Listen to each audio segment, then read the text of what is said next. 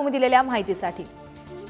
यानंतर आपल्याबरोबर निवृत्त लेफ्टनंट कर्नल आणि आंतरराष्ट्रीय घडामोडींचे अभ्यासक सतीश ढगे आहेत. सतीशजी पुढारी न्यूजमध्ये तुमचं मनापूर्वक स्वागत आहे.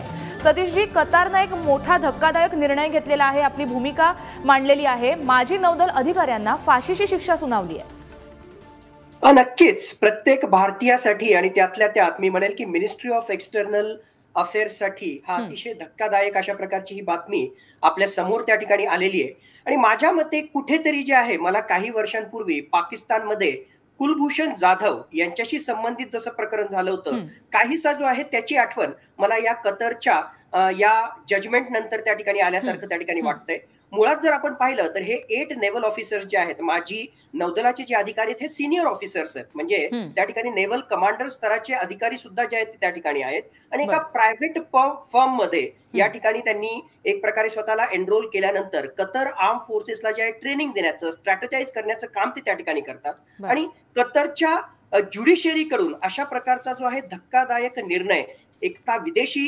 नागरिकाशी संबंधित त्या ठिकाणी येणं हे नक्कीच दुर्भाग्यपूर्ण आहे. माझ्या मते आता खऱ्या अर्थानं भारत सरकारची आणि त्यातल्या त्यात मिनिस्ट्री ऑफ एक्सटर्नल अफेअर्सची कसोटी त्या ठिकाणी लागणार आहे. एका बाजूला आपण म्हणतोय की अरब राष्ट्रांसोबत मिडल ईस्ट सोबत आपले जे आहेत संबंध हे मागच्या काही काळामध्ये वाढलेले आहेत. एका बाजूला आपण म्हणतोय की भारत हा जो आहे इमर्जिंग सुपर पॉवर म्हणून येतोय. एका. बाजूला आपण म्हणतोय की आंतरराष्ट्रीय स्तरावर भारताची एक वेगळीच छाप आहे. मग हे जर खरोखरच जर सत्यामध्ये जर आपल्याला उतरवायचं असेल तर मग संपूर्ण जगामध्ये कुठेही भारताच्या नागरिकावर जर काही आपत्ती त्या ठिकाणी उडवली जात असेल. आणि त्यातल्या त्यात कतर देशामध्ये आमच्या माजी लष्करी अधिकाऱ्यांविरुद्ध सरळ सरळ आठ जणांना जर जे आहे फाशीची शिक्षा सुनावली जात असेल तर नक्कीच संपूर्णतः लिगल हेल्प त्यांना पोहोचवणं काउन्सिलर हेल्प त्यांना त्या ठिकाणी पोहोचवणं आणि. सर्व पद्धतीनं जे आहे त्यांचा बचाव करणं हे जे आहे टॉपमोस्ट प्रायोरिटी आपल्या सरकारची आपल्या. मिनिस्ट्री ऑफ एक्सटर्नल अफेअर्सची त्या ठिकाणी असली पाहिजे आणि मला पूर्ण त्या ठिकाणी खात्री आहे कारण अधिकृतरित्या